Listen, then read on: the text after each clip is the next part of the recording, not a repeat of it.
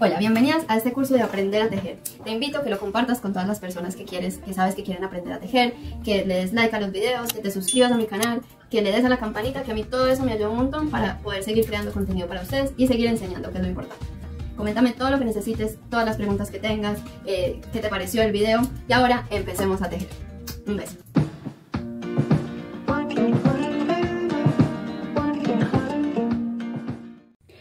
Hola, bienvenidas a esta nueva clase del curso Aprender a Tejer. Hoy vamos a aprender a hacer el punto jersey o el punto liso, que es este que es, van a ver que no queda con nada de textura, sino que queda lisito, lisito. Y tiene estos dos lados. Este es el lado del derecho, ¿sí? Y este es el lado del revés, ¿sí? Y también vamos a aprender a hacer el punto de borde, que es este punto para que el bordecito nos quede con estas em, como cadenéticas, ¿sí ven? Acá en el borde, que nos quede así bien prolijito. Entonces vamos a empezar a, a ver este punto que se forma combinando el punto derecho y el punto revés, ¿sí? Entonces, vamos a montar puntos, yo acá monté 20 puntos, bueno, entonces me posiciono con mis puntos en mi mano izquierda y mi, y mi aguja libre en mi mano derecha, ¿sí? Y vamos a empezar entonces a tejer. Este punto se forma eh, haciendo una vuelta del derecho, ¿sí? Todos los puntos del derecho y cuando doy la vuelta al tejido, toda la parte del revés va a ir de punto revés, ¿sí? Porque como sabemos, los tejidos tienen una cara del derecho y una cara del revés, ¿sí? Entonces, en el punto jersey la cara del derecho se ve así y la cara del revés se ve así. Entonces lo vamos a aprender a formar. El punto de borde, por otro lado, se forma en el primer punto y en el último punto, ¿sí? De cada vuelta. Entonces, en la primera vuelta no hacemos nada, tejemos todo derechito hasta el último punto, ¿sí?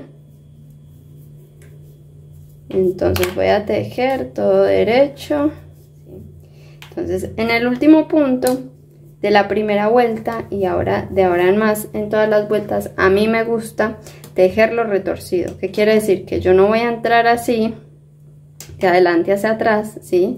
sino que voy a pinchar por la hebrita de atrás ¿sí? ven? por esta o sea no voy a entrar así sino que voy a entrar así ¿sí ven? Así se teje el punto retorcido.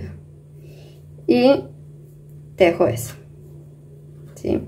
Así, esta primera lazadita de acá no me queda muy grande, que es lo que suele pasar con... Eh, en, en, el tejido en recto, digamos que el último punto de la primera vuelta queda como un poquito suelto.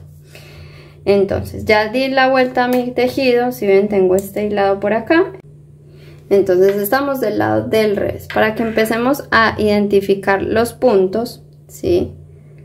A ver si ahí queda mejor.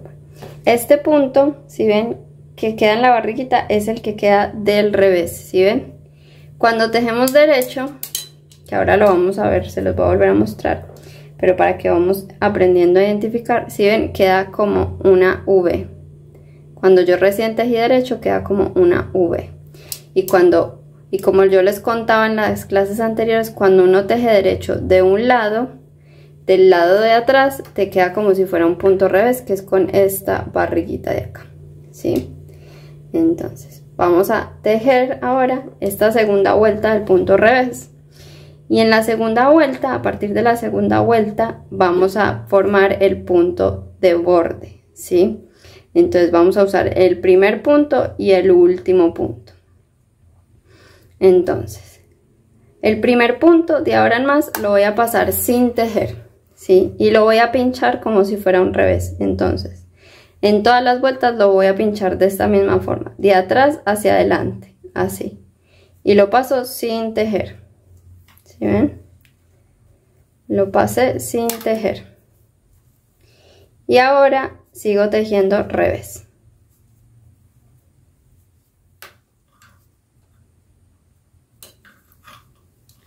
Dejo este último punto del revés y el último siempre, siempre lo voy a tejer del derecho retorcido. Entonces no voy a entrar así, sino que entro así. vamos a acercarlo un poquito para mostrarles mejor no entro como el derecho normal sino que entro por atrás así y lo dejo ¿sí? Entonces ahí ya tenemos nuestra segunda vuelta y si ven va quedando así como con las barriguitas del revés. Y adelante ahora vamos a volver a dar la vuelta. Me va quedando así como derecho. Entonces vamos a hacer una vuelta más. El primer punto. Entonces el primer punto lo pincho de atrás para adelante como si fuera un revés. Siempre y lo saco. Sin tejer. Ahora el hilado lo tengo que pasar para atrás para poder tejer derecho. Y empezamos a tejer el derecho.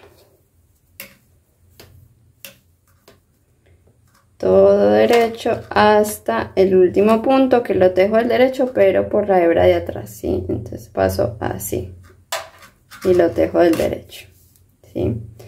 Entonces ahora que volvemos a hacer volvemos a dar la vuelta y ahora nos toca revés si ven se, ya se va dando uno cuenta que le toca hacer porque ya acá bien que queda esta textura como de barriguitas del lado del derecho te queda esta textura como de Vs ¿sí? Entonces cuando veas las barriguitas toca revés. Entonces volvemos a hacer el primer punto, lo paso sin tejer, como revés. Y acá simplemente empiezo a tejer revés. El hilado. Y el último punto volvemos a tejerlo por derecho pero por detrás. Y ahí si ven se va formando como estas cadenéticas en el borde. Entonces ahora vamos a continuar tejiendo así. Cuando vean las velas les toca del derecho. Cuando vean las barriguitas les toca tejer revés, ¿sí? Y el primer punto lo pasan sin tejer como si fuera un revés, o sea, lo pinchan de atrás para adelante. Y el último lo tejen del derecho pero por detrás, ¿sí? Entonces no entran así, sino que entran así, ¿sí? Entonces vamos a tejer un pedazo más y después venimos, vemos cómo queda y cerramos los puntos. Bueno, acá ya llevo un pedazo más, ¿sí? Si ven así se empieza a formar este punto, que es el punto jersey o el punto liso. Queda, este es el lado del revés, ¿sí? Y este es el lado del derecho del tejido, ¿sí? También igual en este lado donde vemos estas veces se hace del derecho, de este lado que vemos las barriguitas se hace de eh, punto al revés. Y el punto de borde entonces va quedando así, ¿sí? Como unas cadenéticas en los costaditos, ¿sí? ¿Qué es importante saber de este punto? Que el punto se enrolla. ¿Qué quiere decir eso? Si ven acá estas muestricas, si ven el punto es como que se empieza a enrollar para acá, para adentro, para acá. Enrolla menos cuando cerramos los puntos, pero igual un poquito sí se enrolla acá también. Entonces después, eh, para una prenda eh, hay que hacerle un bordecito o se pone así igual y después se bloquea, que acá les voy a dejar un, un video de que es bloquear un tejido. Eh, o después se cose a otra prenda y no pasa nada, o abajo casi siempre los, los suéteres llevan un punto elástico, que es el que vamos a ver en la siguiente clase. Entonces es importante que sepan es que es un punto que se empieza como a enrollar, ¿sí? Para tenerlo en cuenta. Entonces una vez terminamos de tejer, si yo termino de mi lado del derecho, entonces cierro los puntos del lado del derecho. Y si no, cierro los puntos del lado del revés. Entonces ahora para cerrar los puntos, si tejo el primer punto, lo dejo, dejo el segundo y acuérdense, paso este encima de este. Dejo este y paso este encima de.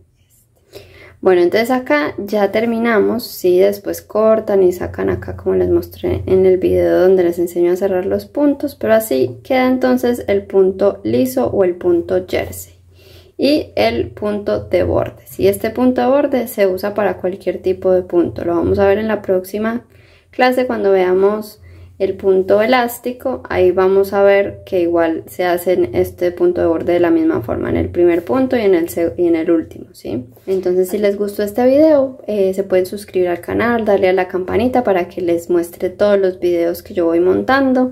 Eh, coméntame qué te pareció el video, qué más quisieras aprender. Y eh, compártelo también con todas las personas que, que sabes que quieren aprender a tejer. un beso grande, nos vemos en la próxima clase.